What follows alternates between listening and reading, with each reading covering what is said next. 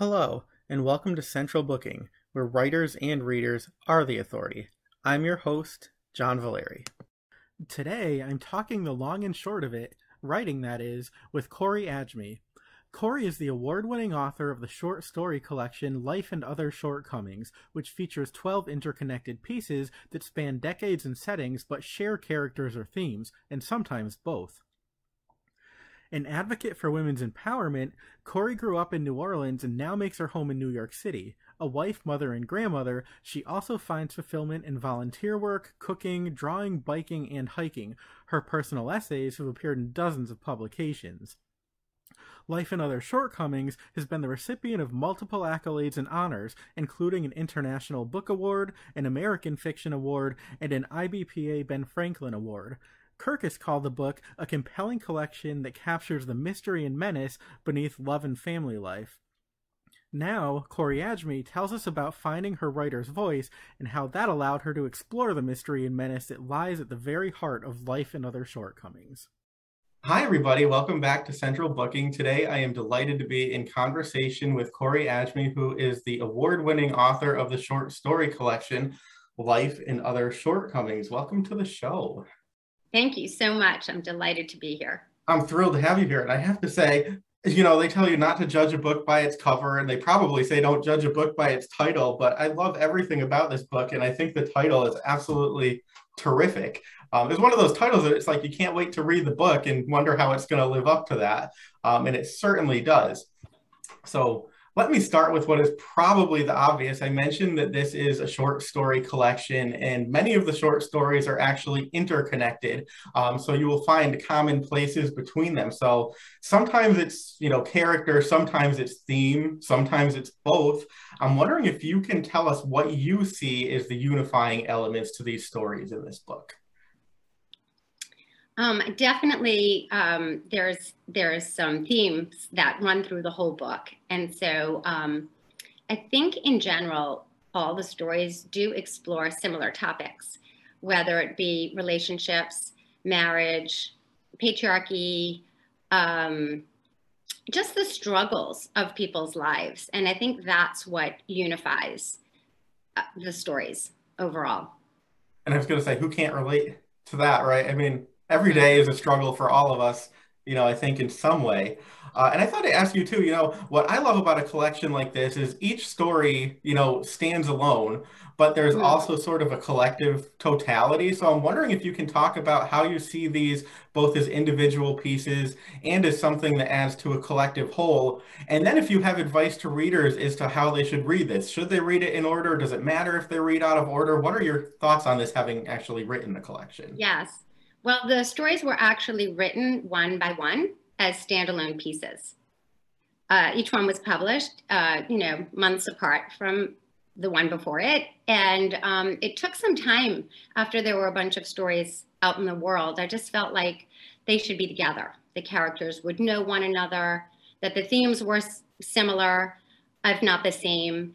And I wanted them to live in the same book. So I set to doing that. And that was actually a really interesting and fun part of this process because um, I was able to give the stories new life by making very few changes. And um, they linked together nicely. And that was really a very fun part of this process. Yeah, it's it's kind of cool. I mean, I love when you're reading a story and all of a sudden you think to yourself, "Wait a minute, I heard that name before." So a few of the characters, as I mentioned, reappear throughout the story, but at different times and in different circumstances, which I always find interesting because you get some insight into who they were and who they become. So I'm wondering if you can tell us what appeals to you about revisiting characters in that sense. Well, there were a lot of different aspects to that, even just in exploring who these characters were and what happened to them as time went on. And in that way, the collection in some ways reads like a novel because the characters have a longer arc. Um, but also, it was interesting to me to uh, show them at different times in their lives. And we get to see what's happening in the country also, which I found so fascinating. To this, the one of the stories is, starts in 1970 um, in the book, and one of the the end story is like 2014. So you get like a 40 year span on um, on what's going on, not only for these characters, but like I said, in the world. I wanted to ask you about how you develop your characters and hopefully I won't get this wrong but you know I think in the opening story dinner conversation you know Callie is talking about how she sort of plays this game where she'll see somebody and she'll sort of create a backstory for them based on you know how they look and how they present themselves and i'm wondering if if you do that as well what is your process for developing your characters i definitely do that. Um, and I, I, love to tell this story because i just think this was the spark for me. Um, when i first decided to try to write i went to gotham writers workshop. And one of the very first assignments was to think of a character and I thought of a male character, um, maybe because it was farther away from me and my own experience, and I was really trying to work on fiction. Um, and the assignment was to pick one characteristic that um, this character has and to figure out how it works for that character in a good way and in a bad way. So I picked generosity. And my mm. male character was going to be super generous with like money and material things but very not generous with his love.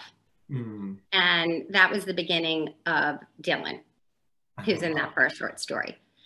So that that was that's one way, you know, thinking about characters from a psychological perspective.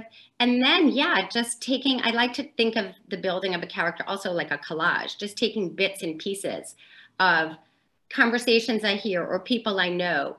I might take how one person I know looks and the job of another person or invent things, use my imagination. So it's just like this building collage of characteristics that somehow make this person who becomes really this character who becomes real to me.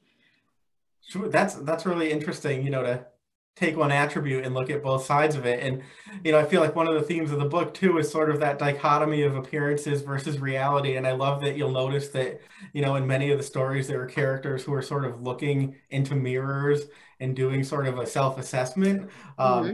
So interesting. And I thought I would ask you, you know, about place too because i know that many of the stories either take place in new york or new orleans and i know that those are two settings that you're sort of intimately familiar with. So i'm wondering if you can talk about you know how placement helps in giving a story a sense of identity. Definitely. Um, i think i was just super lucky to have lived in two very rich places. Uh, the settings new orleans and new york are just fascinating cities to write about the people the culture food music um, all the different places you can, you know, shine a light on. So um, those two stories, those two places are super vibrant in the stories. And um, yeah, I, you know, I think you can invent and write about places you haven't been, but there definitely is a depth, I think, when you're writing from your own experiences or memories. Because when I write about New Orleans, those are really, really distant memories. I go visit sometimes, but the city's not the same as when I was growing up. Right. Yeah, and I love too. I love that you know setting be, can become its own character. I know that some people say that that's ridiculous, but I tend to disagree with them because I think it can give you know a whole different sort of tonality to story if it's done well. Um, so let me ask you too. One thing I loved about this is obviously, you know, the subject matter tends to be serious because it's about relationships between men and women, and you know, it can be romantic relationships, friendships, parenthood, um, but there's inherent drama, you know, in that. But I don't want people, you know, to get the idea that this is a somber book because, you know, there are those moments, but there's also, you know, a lot of levity and laughter throughout. So I'm wondering if you can talk about your relationship with humor and how that found its way into the book. Well, thank you for mentioning that because when I'm talking about the book, I often talk about you know the the subject matters the struggles like i said like probably the first thing when i started talking to you today. Right. um, but there is humor. And um, i do appreciate that aspect of the book because it's really hard to sit through you know hundreds of pages of just heavy drama at least for me. So i think humor um, is a way to make some things that are super difficult more digestible Sure. I've learned a lot from reading people like Nathan Englander, who wrote um, What We Talk About When We Talk About Anne Frank, because that story just really opened things up for me. Because he was talking about religion, but in a funny way. And I liked that juxt- juxtaposition of religion and humor. And um, Philip Roth also, in his short story, The Conversion of the Jews. Like, right. who could imagine you'd be, you know, hysterical laughing from a scene in the yeshiva? So um, that was a real challenge and a, an interesting, fun part of the writing journey for sure. Awesome. Yeah. And, you know, I can really appreciate that as a reader because it sort of gives you that, you know, moment to relax. But also, I can imagine that's hard as a writer to find the balance because, of course, we want to be respectful of things. But at the same point, I think in our private lives, you know, we all have to find, you know, some laughter and humor. And if we don't, we go a little bit mad. Um, Or maybe that's just me, but I don't yes. yeah. And um, you're right. That respect is part of it too, because you, there is a fine line. Yeah, but you gave some great examples, you know, of learning tools, you know, and then you see that other people have done it and they've done it well. And then it's like, okay, you know, you can do this and people aren't going to go for your head, um, which I think is terrific. And then more generally, I just, I wanted to ask you about the format of a short story, if you don't mind, because it's kind of, you know, a unique animal. And I know that many novelists, you know, who will write hundreds and hundreds of pages in a book are intimidated by the idea of having to capture story in such a short span of time. So, you know, having written many now, can you tell us what you find to be both the greatest challenges and liberties in writing in this format? Yeah, for me, short stories actually were much easier than a novel. So what happened was I started really slowly, just publishing one story at a time and playing around with, um, you know, the first person, third person, male character, female character, and just getting my bearings. And it, it was a manageable um, form because I could, I was had young kids at the time, and I was able to read the whole draft like in a sitting. And, and kind of after like my third or fourth publication, I was like, I'm going to try a novel, thinking like, well, it's just going to be a little longer, you know. And and that to me was not only a totally different animal, but um, much harder for me to grasp because I didn't have the time to sit and focus. And I, I would have to put the story away. And then by the time I got back into it and looked at it again, I was starting all over again because I to remember where I was and and and get back to that emotional beat. So the first draft of the novel that I wrote turned out to be kind of like a long short story. Sure. That was the feedback I got. So for me, that's just to say short story writing was a more natural form for me. And I've worked really, really hard. I actually have a novel coming out in August, August 2022. Okay. Um, yeah, I'm excited. It's called The Marriage Box. And I'm really happy with how it came out. I, although I will say it took a lot of work. I mean, a lot. Many, many edits. and decade. yeah, I mean, the nice thing about a short story, and I don't mean this to put it down because it's not. Short stories can be incredibly hard to write because you have to capture, you know, so much in a small amount of space. But I think a lot of people like the idea that the end is within sight. It's not 400 pages away, and that in and of itself, I think, makes it an easier entry point just because you know that the end is probably reachable. Um, but that's exciting news about the novel. So I'm going to ask thank you more you. about that at the end of this interview. Yes, thank you. If you thank don't you. mind. Sure. And so I wanted to ask you too, you mentioned before that you came to writing um, in your 30s. And so I wanted to ask you, you know, what have you found to be your greatest teachers? Because you mentioned also, you know, that you studied writing a bit more formally, but you're, you know, a wife, a mom, a grandmother now. So I'm sure life has been a teacher as well. Um, yeah. So how do you sort of combine those things into your writing, what you've been taught by life versus what's been taught to you by other writers? Well, I definitely have um, learned from so many sources. Um, I spent a lot of years reading with a pencil in my hand, circling, underlining, taking notes in the margins, like really just trying to dissect what was going on. Um, I didn't have, you know, I, I always say this, I got through graduate school with only having taken one English class. I, I don't know how that's possible, but I felt like I needed to educate myself. And so I did that for uh, many years. I also took classes at Gotham Writers Workshop in New York City, which I highly recommend. They're giving classes now on Zoom now, so you can be anywhere in the country and I, I think the world and take classes from Gotham. Their teachers are amazing. Um, and I have gone to conferences across the country. I mean, I workshops. I have I've really done everything because I knew that you know there are many ways to get published, and a lot of people can write something in a year or two or three and just get it out. And that was never my goal. My goal was really to write the best thing I could write And so I was very willing to take my time and go slowly and and work on my craft until I got it to be exactly how I wanted it to be. Sure, that's terrific, and I I think there's a beauty in that, and you know, knowing that you can actually take the time to do it in the way that you want to do it, and it doesn't always have to be a rush because so many people feel that pressure to produce, produce, produce, and then they lose kind of all of the joy. And it doesn't really have to be that way. Um, but so now I'm going to ask you, you know, about the acknowledgement section in your book because I am a junkie for those. I love to read them, and uh-huh.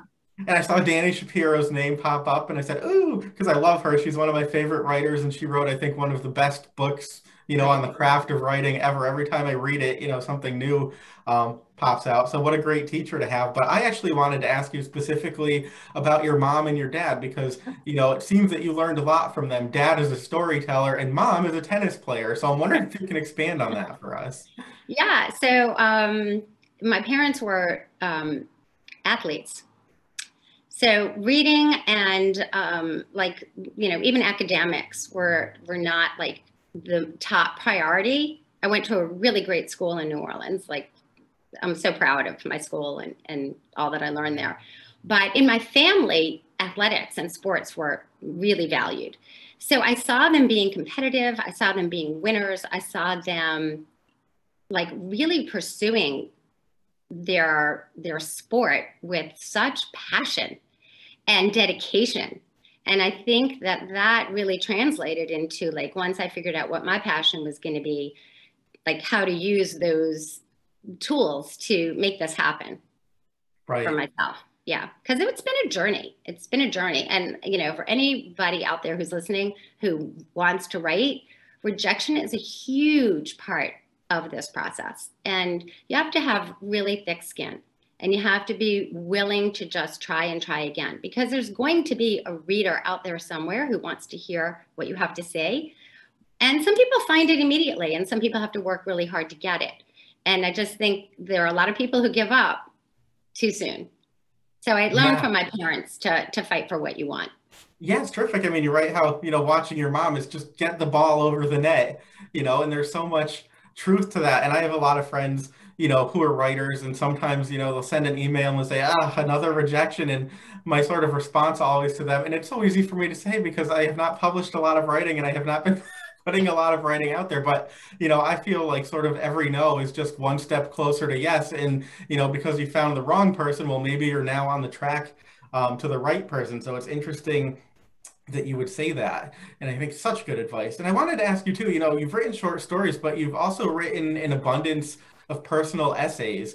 And so, you know, I speak to a lot of novelists, a lot of people who write fiction and have maybe dabbled in memoir or autobiography.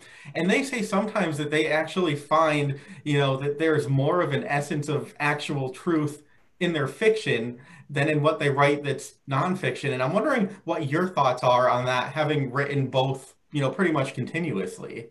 Yeah. Um, I mean, I, I have been um, told like i can't believe how honest you are so i think even in my um, nonfiction writing I, I think it's not worth writing if you're not going to be honest so i really go for that um, but i do really enjoy the freedom of fiction i i i, I, I prefer it Sure. Usually, I can sit down uh, and write fiction. It, it's more it's more fun for me. Sure. And so to follow up on that, um, let me just ask you if you have, you know, any words of advice or guidance for people who are struggling, you know, with whether or not they want to write actual autobiography or memoir, or if they should fictionalize something. Would you have any guidance as to how they might want to, you know, consider that before they actually sit sure. down to do the writing? Like I said, I think that if you're not going to be truthful, you shouldn't bother because readers will not be interested. If you don't hit that emotional beat, nobody's going to care so I think you have to really care about it and be honest. And if you can sit down and write memoir and, and be honest, then go for it. You should do it. And if it's going to hold you back because you're thinking, what is my mother going to say, and my sister, and my brother, and whoever else, um, then go to fiction. And you can always just say it's fiction. And there will be people who challenge you and people who, you know, aren't happy, but it does give you a little more freedom. Sure. I love that. And I love, you know, when people sort of take real characters and fictionalize them and then they worry that the people are going to recognize themselves, particularly the people who have, you know, negative attributes, and then they get the feedback that that person does not recognize that character, but realizes, you know, how offensive and awful that they are, and they say, "I can't believe somebody like this exists," and they're actually exactly. That's exactly. Yep. So mm-hmm. just a couple more questions for you, and then I will let you get back to you know real life in writing. Um, you've already actually given us some you know great advice and words of wisdom, but I'm going to come back to that because a lot of people are always seeking that. So I know you spoke to us specifically, you know, about rejection and sort of how to use that as a positive framework. But I'm wondering too, you know, in terms of a creative or writing life, what do you think is the best advice that you were ever given, and then the best advice that you were never given and had to learn throughout the process of doing it for yourself? Wow. The best advice I was ever given. Hmm. I mean, I, I think I'll go back to um, the idea of my parents and, and you know, persevering. I, I think in this field, if you're not going to persevere, you know, very few are going to make it. That's great advice. True. So yeah, um, I, I really, I, I believe that. I mean, you know, I, I participate in so many online like writing groups and the amount of queries that writers are sending out, the amount of rejection, the amount of being ignored, never hearing back, waiting a year, waiting more than a year, and then being asked for a full manuscript and then the agent might ghost you or i mean the stories are endless by really great writers and some of them even have two books already published. Right. i mean i'm not even talking about somebody just starting out. I'm talking about people who have published or in the writing world and it's just a really hard time right now. You've got to be super serious. No, if you want true. It's so true. And I'm wondering, is there anything that you also have learned that was kind of an epiphany moment that you didn't realize until you started, you know, writing yourself? And then you said, oh, I wish I maybe knew this then. Um, you know, I, I think I was really lucky with this whole process because I didn't start out saying, I want to be a writer um, and I'm going to make this happen. It was a really slow journey it was just, can I get one short story published? Right. And then after that one was published, I was like, oh, was that just a lucky break? Can I get two done?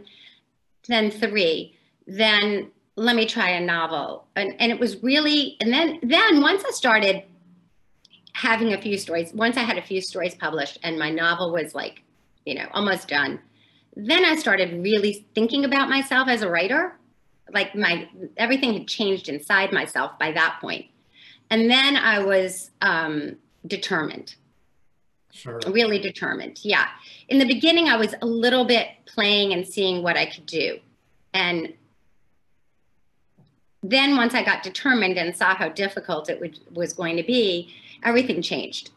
But I, I do think that because I didn't start out like um, with a specific goal in mind, it wasn't like there was any one epiphany. It was just a, a slow process and um, and the determination came, you know, little by little, as I set right. new goals for myself. Right. Actually, I love you know that approach to just take it sort of a manageable step at a time, like building blocks. And okay, now I've accomplished this.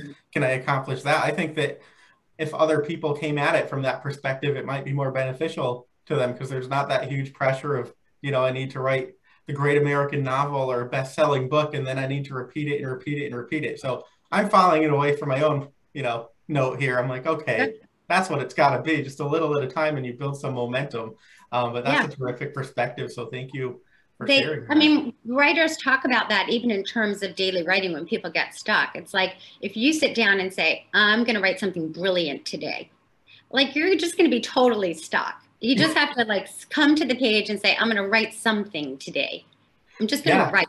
Yeah. It's true. Sometimes I say I'm going to write complete crap today and then I do and I feel accomplished. And if it's not complete crap, I feel even better. exactly. All right. Exactly. So final question to you. I'm wondering if you can leave us with a little teaser of what comes next. It can be more stories, essays, or you mentioned the marriage box, I think it was, yes. that's coming out in August. So yes. feel free to tell us whatever you were at liberty to tell us and want to tell us. Okay, great. So the marriage box will be out in August of 2022. I am really excited about that book. It took me a very long time to write, but I think I finally got the right note. And um, I'm very, very thrilled with how it came out. It's a fun read. Um, the setting is New Orleans and New York again. Mm-hmm. Um, you meet some similar characters that you met in Life and Other Shortcomings, um, some same themes, but um, it's a novel. It uh, takes place in the 80s. And um, yeah, I'm really excited about that. And after that, I have another novel that um, I will be hopefully getting out a few years after that. I would love to write more short stories and essays. Um, I really do feel, in many ways, since I got started late, that I'm just starting. And it's exciting. And I'm hoping to write for many more years. Oh, well, we hope that too. That's terrific. It's nice to have that to look forward to. And in the meantime, you know, people have to read Life and Other Shortcomings. And if they read it slowly, which you will not do, I mean, you start reading this and you'll read it in a day. It's that good and engrossing. But if you want to stretch it out, you know, there's 12 stories. So if you read about one story a month, by the time you're done, the novel will be out. So, you know, okay, my math isn't terrific. It's more like what, nine months? It's eight? fine. It takes people a day or two to read the book usually. So pace yourselves. Pace yourselves. Exactly. that's sort of the the theme for the day, right? Is pace yourself. Pace yourself, yeah. It's a um, Life and Other Shortcomings has been a great vacation read. You take it on a plane, you know, you're you're you know done before you land. Sometimes, yeah, depends where you go. It's very true. And you know what I would say too? It was a great vacation read for me. And I did not leave my house. I barely leave my house these days. But, you know, I think that's the beauty of stories is that they take you to another world. Like I can lay in my bed and all of a sudden I'm in New York or New Orleans meeting all of these great characters. Um, so even, you know, if you're not going anywhere, you will be going somewhere with this book. So you got to pick it up. Corie Adjmi, Life and Other Shortcomings. Thank you so much for doing this today. Thanks so much for having me here. This was really fun. That was my great pleasure. All right, let me stop us from. That's it for this episode of Central Booking. Thanks for watching, and be sure to subscribe to our channel so you don't miss a thing.